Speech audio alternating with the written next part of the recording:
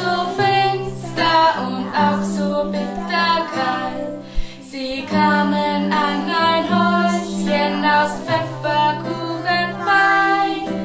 Wer mag der Herr wohl an diesem Häuschen sein? Huhu, uh, da schaut eine alte Hexe heraus. Sie lockt die